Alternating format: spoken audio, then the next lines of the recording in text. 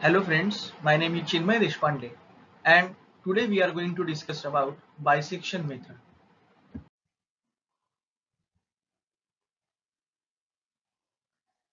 We will discuss concept of bisection method. Consider f of x equal to 0 is the continuous function. For this particular equation, we have to find out root. So to find out the root of the equation f of x equal to 0. Now here I have shown this particular point is nothing but root of this curve. Root is nothing but that point of the curve or that point which satisfies the value of the equation. Means by substituting that value in the equation we will get f of x equal to 0. Consider the intervals in such a way that it will satisfy intermediate value theorem. Intermediate value theorem is nothing but if f of x is the continuous function in the interval x0 comma x1 and if f of x0 and f of x1 produces opposite sign change then there has to be at least one real root in the interval x0 comma x1. So let us consider that. There is a point x0 if we substitute the value of x0 in the given function f of x we will get answer as a negative Consider another point x1 which will be substituted in the equation and we will get answer as a positive. The important condition is that f of x0 into f of x1 should be less than 0. Let the intervals are x0 comma x1. The formula for bisection method is x2 equal to x0 plus x1 divided by 2. After that calculate f of x2. Now there are two parts one is if f of x2 is positive and another is if f of x2 is negative. Suppose f of x2 is positive then what we have to do we have to replace x1 with x2 value in the interval. So therefore for next iteration instead of writing x0 comma x1 we have to write x0 comma x2. Again consider that if f of x2 is negative then replace x0 with x2 value in the interval. So new interval will be x2 comma x1 steps to solve problem of bisection method step number 1 choose x0 and x1 in such a way that it should follow intermediate value theorem. Important condition is that f of x0 should be less than 0 and f of x1 should be greater than 0 and f of x0 into f of x1 is less than 0. For example, suppose I substitute any value of x in the given function f of x and I got a value of f of x is negative then that particular value of x will be treated as x0 and remaining value will be x1. Let desired accuracy is denoted by epsilon. Suppose in the problem, if it is mentioned that correct up to 4 digits, then value of epsilon equal to 0.0001 that is 4 digits after decimal point. If it is mentioned that correct up to 3 digits, then value of epsilon equal to 0.001 that is 3 digits after decimal point. Total number of iterations required is given by a formula n greater than or equal to log to the base e mod of x1 minus x0 divided by epsilon that is desired accuracy whole divided by log 2 to the base e. Remember that while putting this value or formula in the calculator log e is nothing but ln.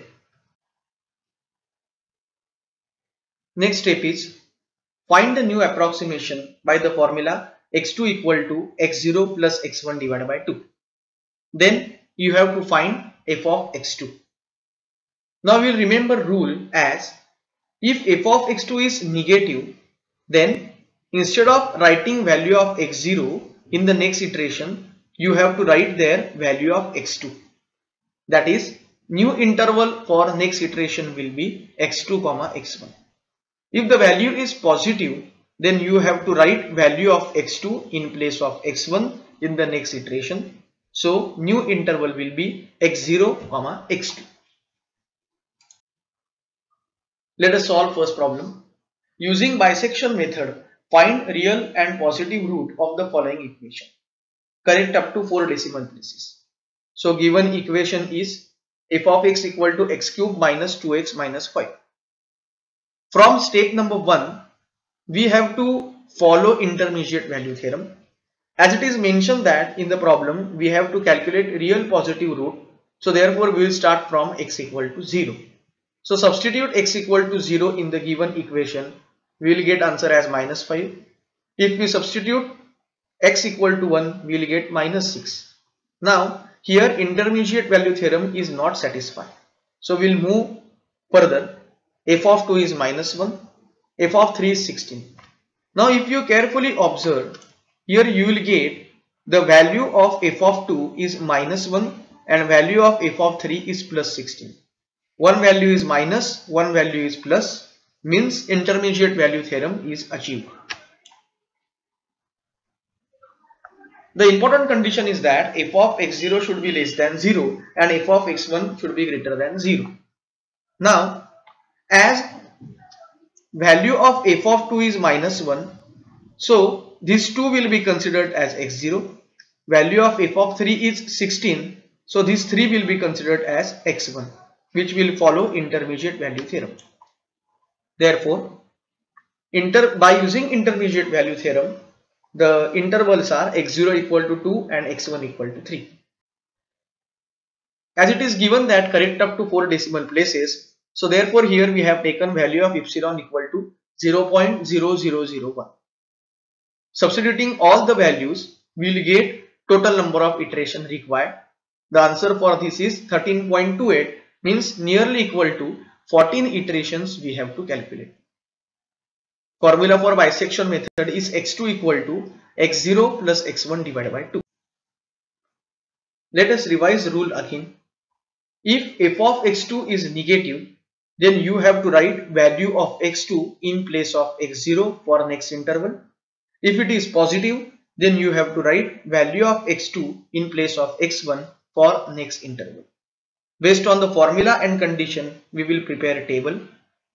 First column is n that is number of iterations second is x0 initial approximation x1 another initial approximation formula for bisection method x2 equal to x0 plus x1 divided by 2 calculation of f of x2 that is substitute value of x2 in the given equation and remark now here while putting all these values in the calculator we will represent as x0 equal to a, x1 equal to b, x2 equal to x0 plus x1 divided by 2 that is c equal to a plus b divided by 2. Important condition is that you have to keep bracket here otherwise answer will be wrong. f of x2 that is d equal to c cube minus 2c minus 5.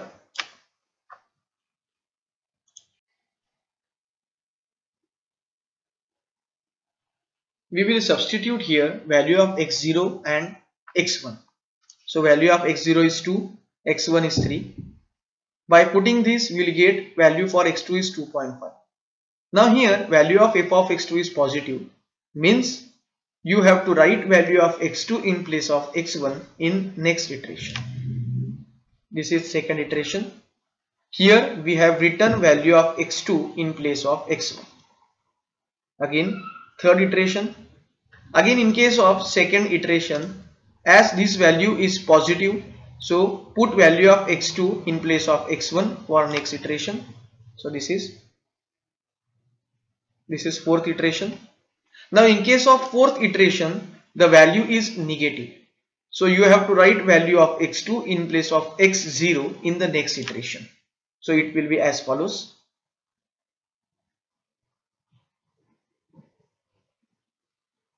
This is sixth iteration seventh iteration eighth iteration ninth iteration and tenth iteration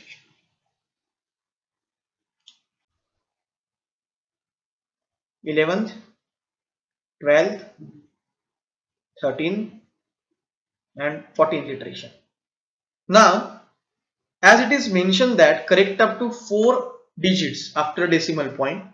If we observe in iteration number 13 after a decimal point we got uh, 2.0945 so here also we will get 2.0944 as accuracy is reached it is achieved. So therefore answer for this equation is 2.094481 I think it will be clear to you. If you have any doubt then please feel free to ask me. Thank you for listening this video